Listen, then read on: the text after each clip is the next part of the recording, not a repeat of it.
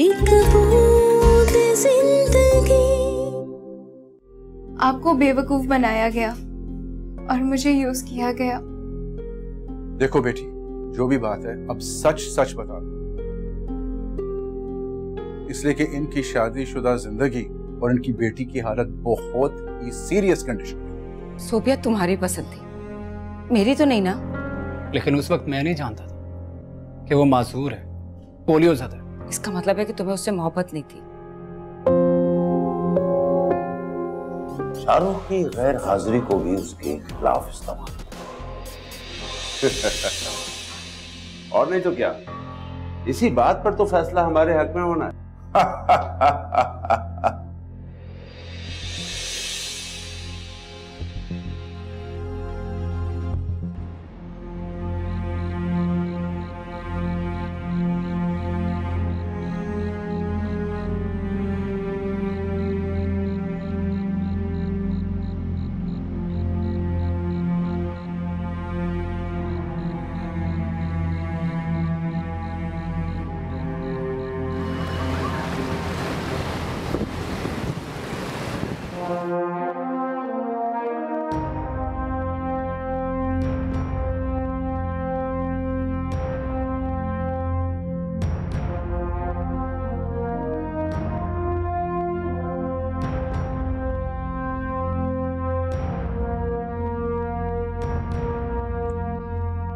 Advocate Atif کا murder بھی اسی کیس کی ایک کڑی ہے سر وہ اداکارہ سندس کا کیس لڑ رہے تھے۔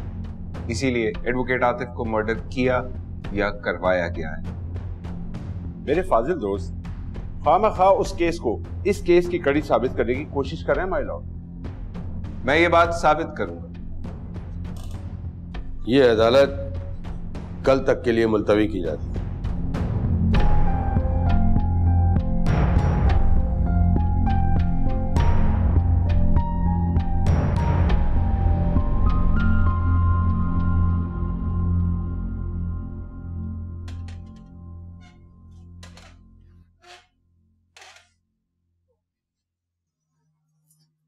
کیا ہوا؟ کیا بہت زیادہ درد ہو رہا ہے؟ نہیں۔ لیکن امی میں تنگ آ گیا بس دو چار دنوں میں۔ یہ بھی کوئی زندگی ہے۔ نہ کہیں انسان جا سکتا ہے نہ آ سکتا ہے۔ مفلوج ہو کے رہ گیا ہوں۔ بیٹا اللہ کا لاکھ لاکھ شکر ادا کرو کہ عمر بھر کے لیے معذور نہیں ہو گئے۔ اس سے اچھا تھا تو مر جاتا۔ اللہ نہ کرے بیٹا۔ لیکن کیا ہی اچھا ہوتا کہ تمہیں احساس ہو جاتا۔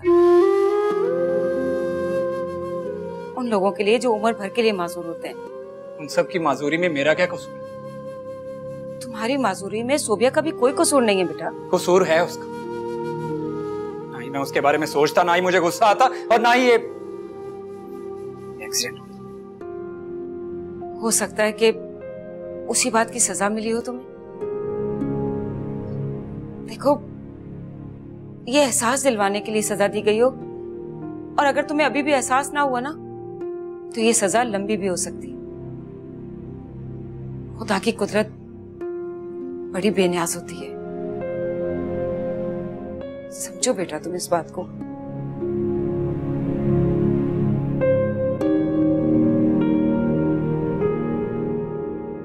عامر کو پھنسایا گیا ہے جج صاحب۔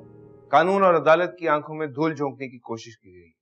حالانکہ حقیقت کچھ مختلف ایڈوکیٹ آتف کا قتل سندس قتل کیس کی ہی ایک کڑی مائی لارڈ میرے فاضل دوست خواہ اس عدالت کا وقت ضائع کر رہا ہے۔ وہ شروع سے ایک ہی بات کی رٹ لگائے ہوئے ہیں۔ لیکن اس بات کا نہ تو کوئی گواہ ان کے پاس ہے اور نہ ہی کوئی ثبوت۔ میں چشمدید گواہ کو پیش کرنا چاہوں اجازت۔ گواہ کو عدالت کے سامنے پیش کیا جائے۔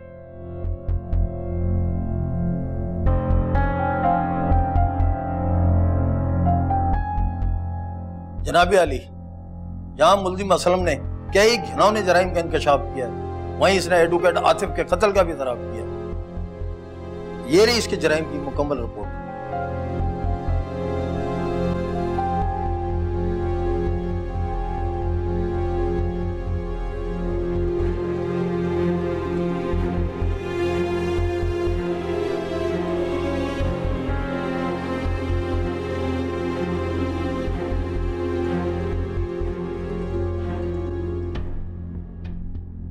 جی۔ تو اسلم میاں ایڈوکیٹ آتف کا قتل کس نے کیا؟ میں نے۔ کیا دشمنی تھی آپ کی؟ کیا جھگڑا تھا آپ کا ایڈوکیٹ آتف کے ساتھ؟ مجھے اس کام کے پیسے دیے گئے۔ شعیب نے دیے۔ ایڈوکیٹ آتف فلم سٹار سندس کا قتل کیس لڑ رہے۔ جو ان کو راستے سے ہٹانے کے پیسے دیے گئے۔ میں نے بہت چالاکی سے پلاننگ کے ساتھ ایڈوکیٹ آتف کا قتل کیا اور عامر کو پھنسا دیا۔ کیا پلاننگ تھی آپ کی؟ عامر نے ایڈوکیٹ آتف کو کچھ پیسے ادھار دیے ہوئے تھے جو وہ واپس نہیں کر رہے تھے۔ مجھے ان حالات کا معلوم ہوا میں نے عامر کو برگلایا اس کو نشہ پلایا اور اس کو اس بات پر راضی کیا کہ وہ سارے محلے کے سامنے ایڈوکیٹ آتف کو جان سے مار دینے کی دھمکی دے۔ اور موقع کا فائدہ اٹھا کر میں نے ان کا قتل کروا دیا۔ جج صاحب فہد سلیم کی دی گئی ایویڈنسز اور اسلم کے بیان کے بعد ملزم عامر کی بے گناہی ثابت ہوتی۔ میں عدالت عالیہ سے انصاف کی توقع کرتا ہوں۔ عدالت اس نتیجے پر پہنچی ہے کہ ملزم عامر بے گناہ ہے انہیں باعزت طور پہ بری کیا جاتا ہے۔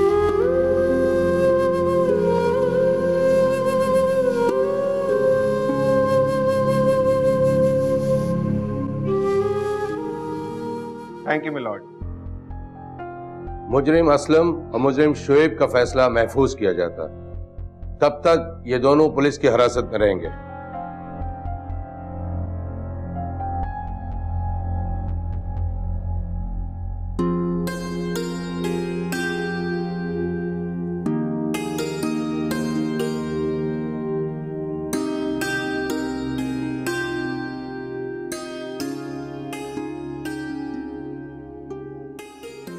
میرا دل تو دکھا ہے لیکن جب تک میں ناراض رہا تم لوگ انیزی رہے اب میں راضی ہو گیا ہوں تو تم دونوں اب خوش رہ سکتے انکل میں آپ کی بات سمجھ رہا ہوں۔ ماں باپ کو ناراض کر کے بھلا کون خوش رہا ہے؟ شگفتہ بہن شرمندگی تو ہمیں آپ سے ہے کہ ہم نے صوبیہ بیٹی کے بارے میں حقیقت آپ کو نہیں بتائی بتا دینا چاہیے۔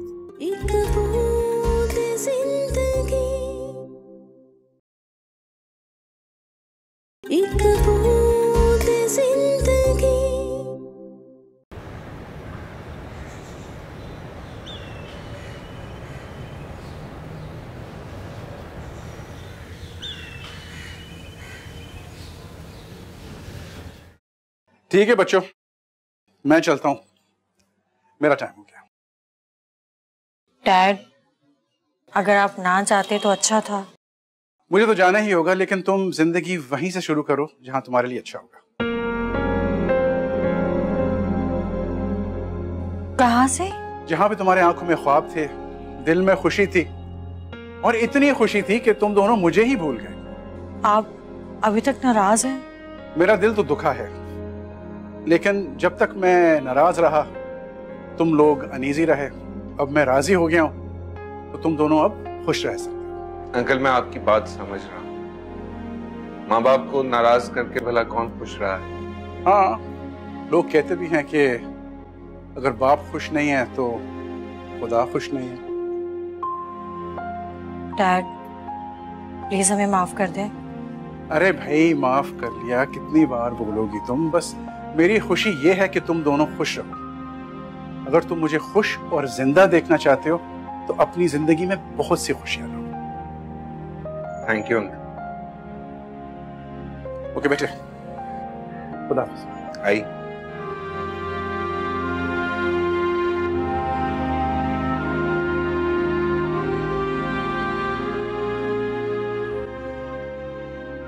لوگ ہمیں کبھی معاف نہیں کریں گے۔ ان سے معافی مانگیں گے؟ بیٹا وہ بیٹی والے ہیں۔ ہم نے دل دکھایا ہے ان کا۔ جھوٹ بولا ہے ان لوگوں نے ہم سے۔ دھوکہ دیا۔ نہیں۔ کوئی جھوٹ نہیں بولا انہوں نے بیٹا۔ ہر ماں باپ اپنے بچوں کے ایپ تو چھپاتے ہی ہیں نا۔ امی اگر وہ مجھے بتا دیتے تو میں اس طرح سے ریئیکٹ نہیں کرتا۔ ہم نے بتایا کیا تمہارے ایکسیڈنٹ کے بارے میں انہیں؟ اور بتانے کی ضرورت بھی نہیں۔ عمران تم داماد ہو ان کے۔ میں تو صوبیہ کے لیے طلاق کے کاغذات تیار کروانے جا رہا ہوں۔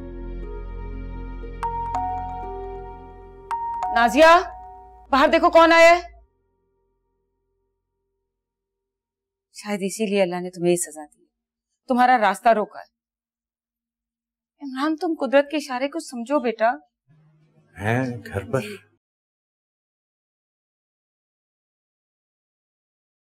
السلام علیکم۔ وعلیکم السلام بھائی صاحب۔ ارے بیٹھو بیٹھو بیٹھو بیٹھو۔ عمران بیٹا یہ کیا ہوا؟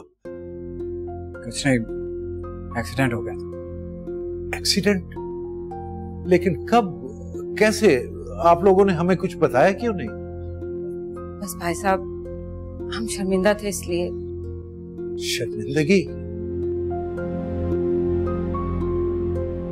شگفتہ بہن شرمندگی تو ہمیں آپ سے ہے کہ ہم نے سوبیا بیٹی کے بارے میں حقیقت آپ کو نہیں بتائی، بتا دینا چاہیے۔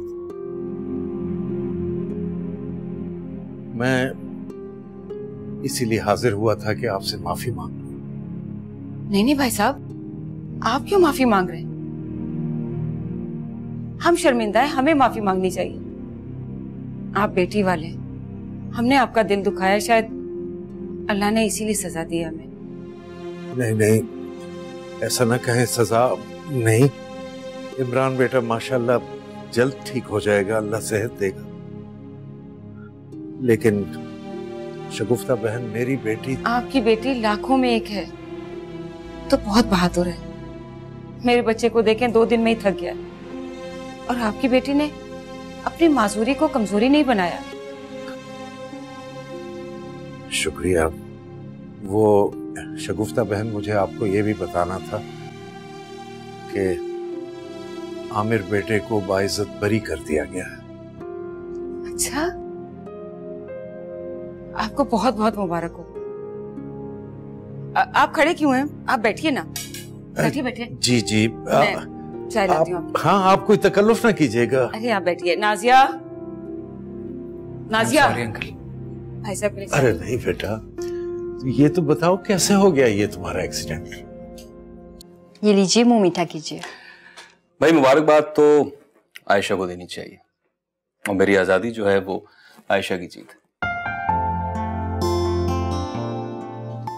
آپ بالکل ٹھیک کہہ رہے ہیں۔ عائشہ باجی نے بہت بہادری سے یہ جنگ جیتی ہے۔ کچھ بھی ہو بھائی میرے لیے تو آج کا دن بہت مبارک دن ہے۔ بھائی مبارک دن تمہارے لیے ہو۔ میرے لیے تو نہیں۔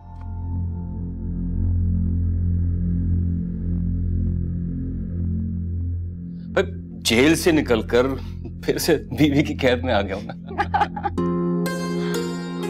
میرے لیے تو وہ دن مبارک ہوگا جب میری بہن سوبیا اپنے گھر میں آباد ہوگی۔ کیا کہنا چاہ رہے مجھے کچھ نہیں کہنا۔ مجھے جو کچھ بھی کہنا ہے وہ عمران سے کہنا۔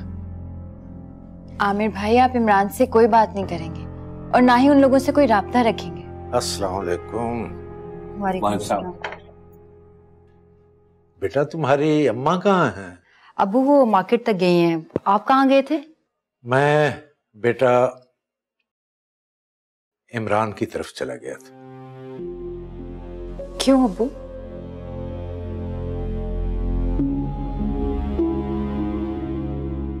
بیٹا عمران کا ایکسیڈنٹ ہو گیا۔ ہے ایکسیڈنٹ ہاں۔ فریکچر آیا ہے ٹانگ میں۔ آپ کو کیسے معلوم ہو انکل؟ میرا مطلب ہے کہ کیا ان لوگوں نے آپ کو انفارم کیا کیا؟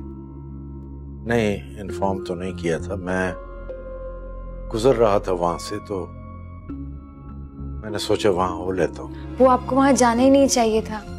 کیوں بیٹا؟ اچھے لوگ ہیں، پھر تمہاری سسرال ہے وہ۔ اور دوسری بات یہ کہ بہت معذرت کر رہے تھے اس دن کے لیے، شرمندہ ہیں وہ۔ اور تمہیں بتاؤں کہ میں نے بھی ان سے معذرت کی کہ ہمیں سچ بتا دینا چاہیے تھا، کچھ چھپانا نہیں چاہیے تھا تمہارے بارے میں۔ ان سب چیزوں کی ضرورت نہیں ابو۔ نے عمران سے خلا لینے کا فیصلہ کر لیا۔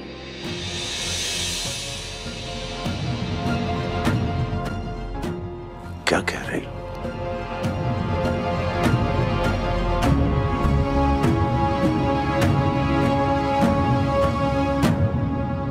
وکیل صاحب آپ میری بچی دلوا دیں۔ یہ شخص مجھ سے میری بچی چھین لینا چاہتا ہے۔ بچی میری ہے جناب۔ میں اپنی بچی اس عورت کو نہیں دے سکتا۔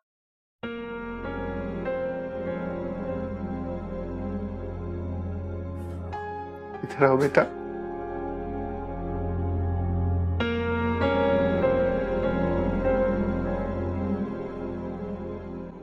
یہ بچی آپ لوگ مجھے دے دیں ورنہ آپ لوگوں کے جھگڑے میں یہ بچی اگنور ہوگی اور مر جائے گی اللہ نہ کرے وکیل صاحب یہ آپ کیسی باتیں کرنے لگے میری بچی مر گئی کچھ نہیں کر سکتا۔ میری آپ لوگوں سے ریکویسٹ ہے آپ اس کے جھگڑے کو ختم کریں۔ ورنہ یہ پھول مرجھا جائے گا۔ جھگڑا ختم نہیں ہو سکتا۔ اس عورت نے میری زندگی تباہ کر دی۔ ٹھیک۔ اگر یہ جھگڑا ختم نہیں کر سکتے نا آپ تو یہ بچی میرے ساتھ رہے گی۔ اگر آپ دونوں آپس میں اس بچی کی خاطر صلح نہیں کر سکتے نا تو پھر اس کا مطلب یہی ہے کہ اس بچی کی آپ کو ضرورت ہی نہیں نہیں وکیل صاحب مجھے اس بچی کی ضرورت ہے۔ بچوں کی ضرورت کسے نہیں ہوتی وکیل صاحب۔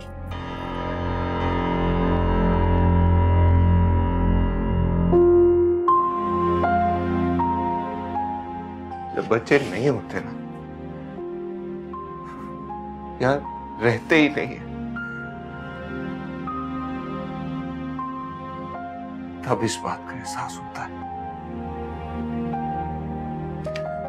ہاتھ جوڑ کے آپ دونوں سے ریکویسٹ کرتا ہوں کہ اس جھگڑے کو ختم کر دیں۔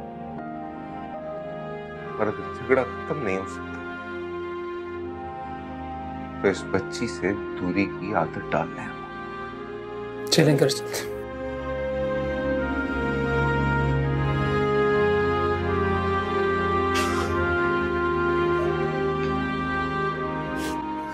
سومی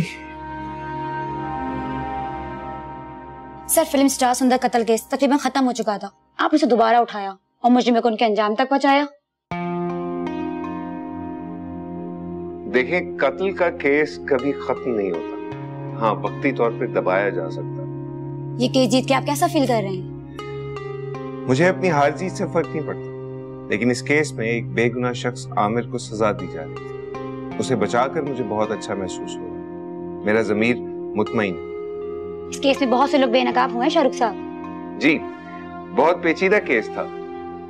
بڑی بڑی شخصیات جو ہیں وہ بے نقاب ہوئی ہیں جو ظاہری طور پر معاشرے میں مسیحت۔ اس کیس میں یقیناً آپ کو بہت محنت کرنی پڑی ہوگی۔ کامیابی محنت کے بغیر ممکن ہے نہیں۔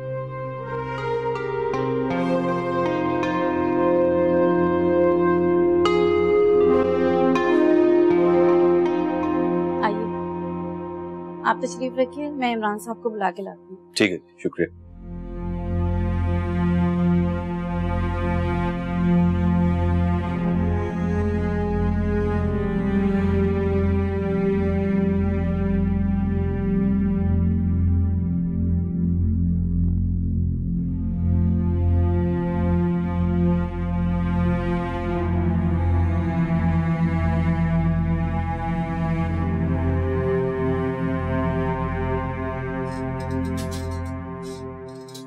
السلام علیکم۔ وعلیکم السلام۔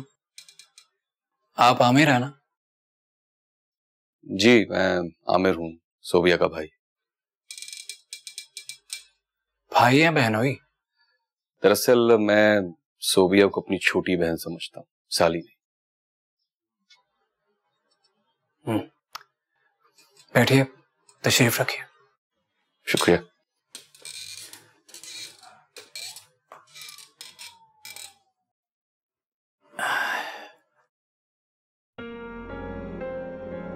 وہ مجھے انکل اور آنٹی نے تمہارے ایکسیڈنٹ کا بتایا تھا۔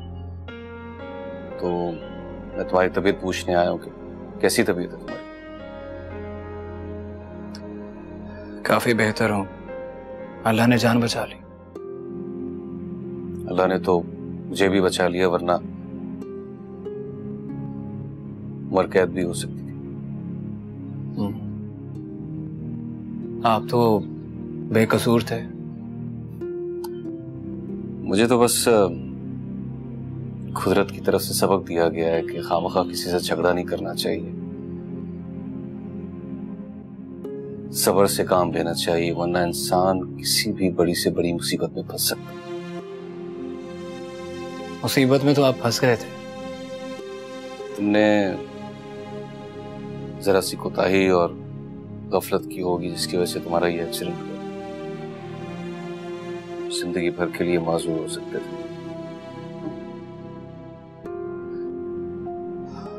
بس غصے میں تھا تیز ڈرائیو کر رہا تھا ہو گیا ایکسیڈنٹ اگر سوبیا بے قصور ہے اس سے پولیوز کی اپنی غلطی کی وجہ سے نہیں۔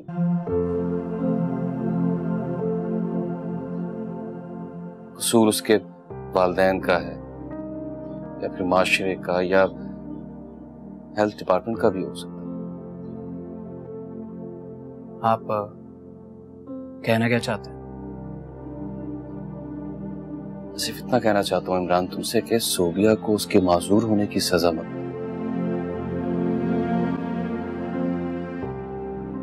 بے گناہ ہے۔ بہت پیار کرتی ہے تم سے۔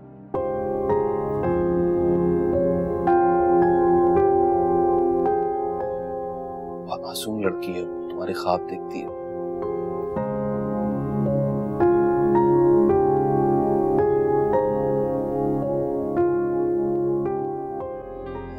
وہ بہت شرمندہ ہے۔ کیونکہ اس کی ٹانگ ٹوٹ گئی اسے معذوری کا احساس ہو رہا اسی لیے وہ شرمندہ نہیں سوبیا ایسی بات نہیں ہے۔ اس سے اپنی غلطی کا احساس ہو گیا میلی سوری عامر بھائی لیکن مجھے اس بارے میں کوئی بات نہیں کرنی۔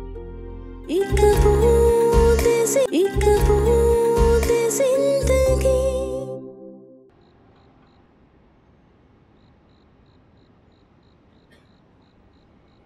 صاحب جی مجھے معاف کر دیں۔ آپ کی بچی میری وجہ سے مری ہے۔ صاحب میں مجرم ہوں آپ لوگوں کی مجرم تو تم ہو۔ مگر قصور علینا کا بھی ہے۔ ہمیں ان پڑھ اور جاہل ماسیوں کو نہیں رکھنا چاہیے۔ لیکن ہم کیا کریں؟ جب ان کی حالت دیکھتے ہیں تو ان پہ ترس آ جاتا ہے۔ رحم آتا ہے ہمیں۔ رحم کرنے کا نتیجہ بھی تو دیکھو کتنا ہولناک ہے۔ صاحب، باجی کا کوئی قصور نہیں ہے صاحب۔ صاحب، ہم لوگ ہم لوگ ذمہ داری صحیح طریقے سے نہیں نبھاتے صاحب۔ اور ہم لوگ در بدر بھٹکتے ہیں نوکری ڈھونڈنے کے لیے۔ اور اس کے بعد ہم اس طرح کی لاپرواہی کرتے ہیں صاحب۔ ہماری وجہ سے کافی بچوں کی جانیں چلی جاتی ہیں۔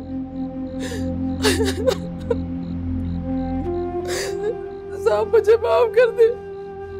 میں اپنے آپ کو صاحب کبھی معاف نہیں کروں گی صاحب۔ اللہ کا واسطہ مجھے معاف کر دے۔ مجھ سے بہت بڑا گناہ ہو گیا صاحب۔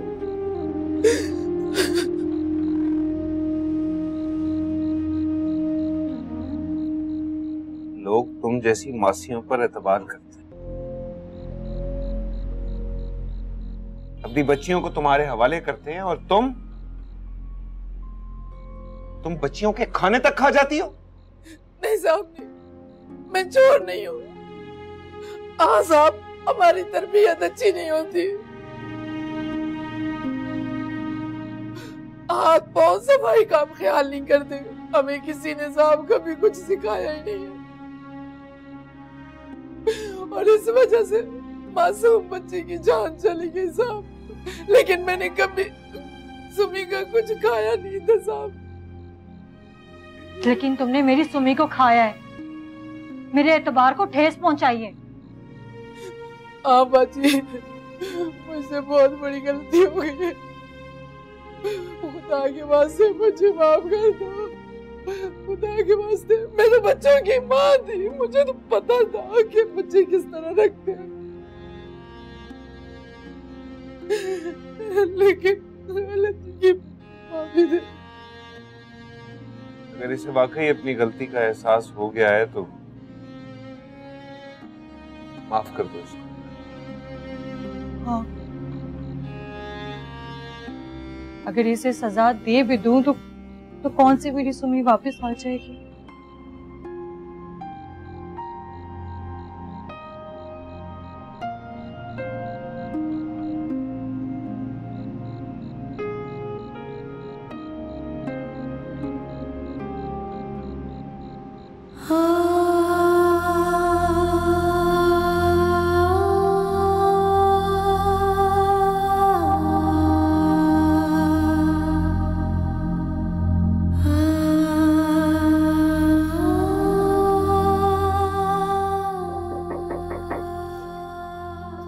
جائیں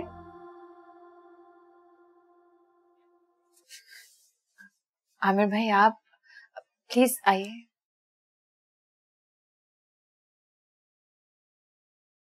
کیا ہوا؟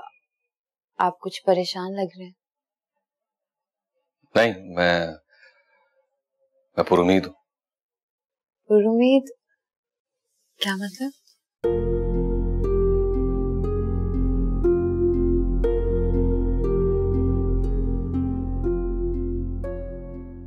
صوبیہ میں عمران کے گھر گیا تھا۔ لیکن کیوں عامر بھائی؟ وہ میرے ساڑو کا نہیں میرے بہنوئی کا گھر ہے۔ اب کہنا کیا چاہ رہے ہیں؟ وہ بہت شرمندہ ہے۔ کیونکہ اس کی ٹانگ ٹوٹ گئی۔ اسے معذوری کا احساس ہو رہا اسی لیے وہ شرمندہ نہیں سوبیا ایسی بات نہیں ہے۔ اس سے اپنی غلطی کا احساس ہو گیا۔ لیکن صرف ٹانگ ٹوٹنے کی وجہ سے نہیں۔ میلی سوری عامر بھائی لیکن مجھے اس بارے میں کوئی بات نہیں کرنی۔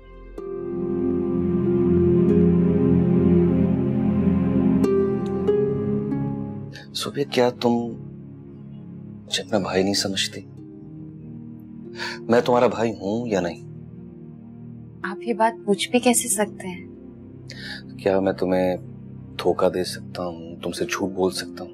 کبھی بھی نہیں۔ تو پھر میری بات پہ یقین کر لو۔ میں نے عمران اور اس کی والدہ کی آنکھوں میں ندامت کے آنسو دیکھے۔ ابھی بھی ان کے لاؤنج میں تمہاری تصویر لگی ہوئی ہے۔ میری تصویر ہی کافی لیکن میں خود کو وہاں جانے کے لیے قائل نہیں کر سکتی۔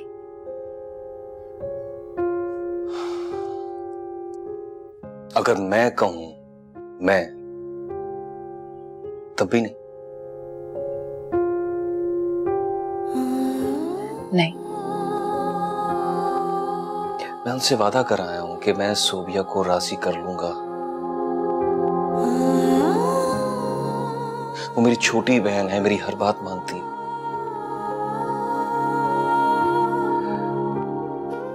سوریا سوریا پلیز میرا بھرم رکھ لو۔ ورنہ وہ لوگ یہی سمجھیں گے کہ میں تمہارا بھائی نہیں ہوں۔ تم لوگوں نے اپنے گھر میں ایک یتیم کو پال رکھا۔ عامر بھائی پلیز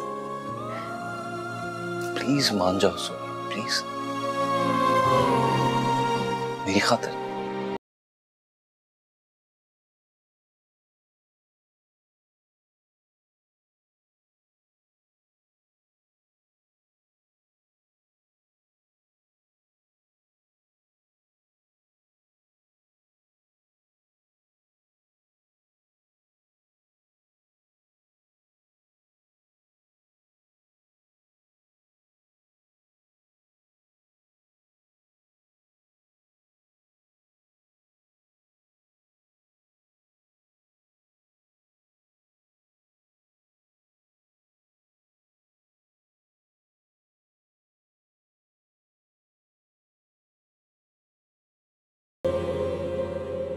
ہم کل اس علاقے سے شفٹ کر جائیں گے۔ کہاں؟ تمہارے من پسند پوش علاقے میں۔ اپنا گھر لیا ہے کیا؟ اتنے جلدی کہاں؟ ابھی کرائے کا ہی ہے۔ مجھے کہیں نہیں جانا۔ کیوں؟ اس گھر میں میری سمی کی یادیں بستی ہیں۔ آپ یہی گھر لے لیں۔ اگر پیسے کم پڑ رہے ہیں تو میں ڈیڈ سے کہتی ہوں وہ ادھار دے دیں دیں گے کرتا ہوں مالک مکان سے بات۔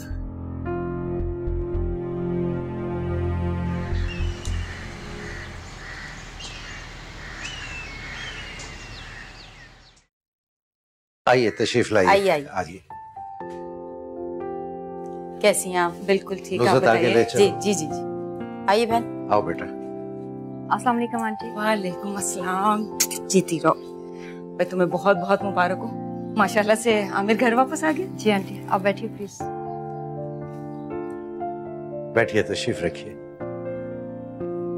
اور بیٹا عامر تم تو خامہ خامہ اس کیس میں پھنس گئے تھے جبکہ تم نے تو کچھ کیا ہی نہیں۔ جی صحیح کہہ رہی ہیں آپ۔ عمران بیٹا تم کیسے ہو؟ طبیعت کیسی ہے اب؟ جی انکل آپ بالکل ٹھیک ہوں۔ ٹریٹمنٹ بھی ختم ہو گیا شکر ہے اللہ کا۔ اور اللہ کا لاکھ لاکھ شکر ہے کہ کسی بڑی مصیبت سے بچ گئے تم۔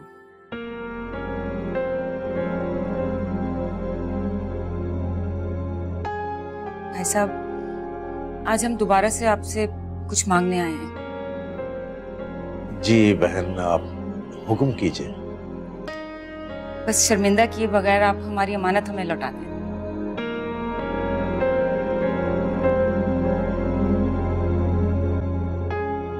نہیں، یہ ہم نہیں کر سکتے۔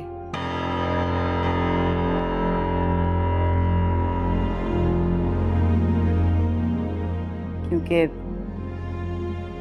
یہ فیصلہ صوبیہ کا بھائی کرے گا۔ صوبیہ کا بھائی؟ ہاں بیٹا عامر صوبیہ کا بھائی ہے۔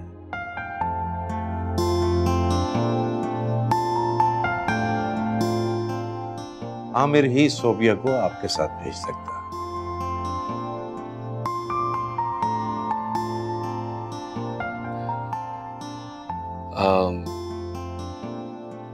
میں کوشش کرتا ہوں جی۔ ہاں بیٹا ضرور۔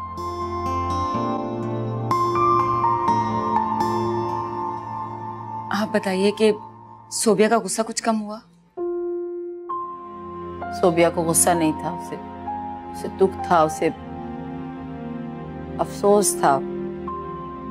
ہماری بچی تو غصے والی ہے ہی نہیں۔ میرا خیال ہے اس ٹاپک کو اب چھوڑ دینا چاہیے۔ جو ہوا اسے بھول جائیں سمجھیں کہ ہوا ہی نہیں۔ رنجشیں اسی طرح ختم ہو سکتی۔ ہیں بالکل ٹھیک کہہ رہے ہیں آپ۔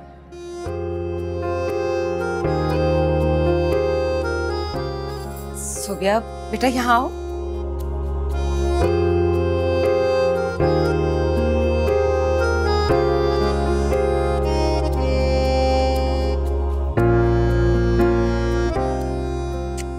جیتی رہو۔ آؤ بیٹھو۔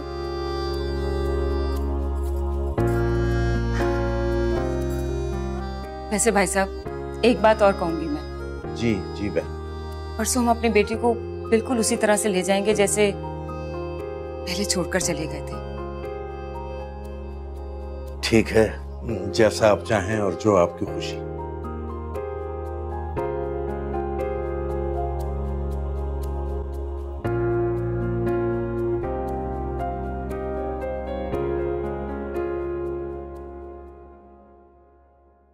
جی ہم ہر بار ہر کام کے لیے حکومت کی جانب دیکھتے ہیں، لیکن خود اپنے ملک اور محلے کی صفائی کا خیال نہیں رکھتے۔ لیکن انہوں نے ان بچوں کو کیا آگاہی دی؟ آئیے انہی سے سنتے ہیں۔ کہتے ہیں، بارش کا ایک قطرہ زندگی کی علامت ہے۔ اسی طرح سے ایک چھوٹی سی کچی سی عادت وہ بوند بن جاتی ہے، جو زندگی کو بچانے کے کام آتی ہے۔ میں نے ان بچوں کو یہی سکھایا کہ صاف ستھرا رہنے کا بنیادی خیال ہاتھوں کی صفائی ہے۔ اور ہاتھوں کی صفائی کا خیال اس طرح سے رکھا جا سکتا ہے کہ کچھ کاموں کے کرنے سے پہلے اور کچھ کاموں کے کرنے کے بعد آپ کو ہاتھوں کو دھونا بہت ضروری ہے۔ جیسے کھانا کھانے سے پہلے، کھانا کھانے کے بعد ٹوائلٹ استعمال کرنے کے بعد۔ بچوں کو میں نے یہ سب سکھایا، ساتھ ساتھ میں ان کی ماؤں کو یہ خیال رکھنا چاہیے کہ وہ بھی ان سب باتوں کا خیال رکھے۔ جیسے ڈائپر چینج کرنے کے بعد ہاتھوں کو لازمی دھوئیں ایسا کرنے سے بچے اور گھر کے تمام افراد بیماریوں سے محفوظ رہیں گے۔ میری اس چھوٹی سی کوشش کی وجہ سے آہستہ آہستہ یہ محلہ ایک صاف ستھری کالونی میں بدل گیا۔ جی واہ ناظرین، جیسا کہ آپ نے دیکھا، صحیح صنف میں رہنمائی سے انسان کتنی بڑی کامیابی حاصل کر لیتا ہے۔ اس پورے علاقے میں بچوں کی بیماری اور اموات کی شرح اب پہلے سے آدھی ہو گئی ہے۔ صوبہ شہاب مہم ایک محلے تک محدود نہیں رہی، بلکہ اب دیگر شہروں اور قصبوں میں تیزی سے پھیلتی جا رہی ہیں۔ اور صوبیہ نے اس مہم کو ایک بوند زندگی کا نام دیا ویل دین صوبہ شہاب۔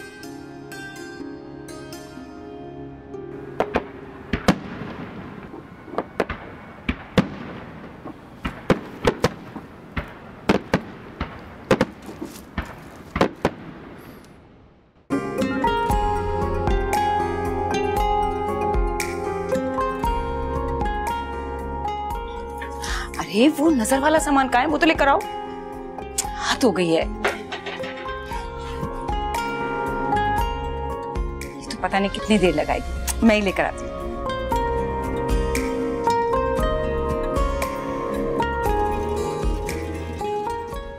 So, Mrs. Imran, can I have a selfie with you? Sure.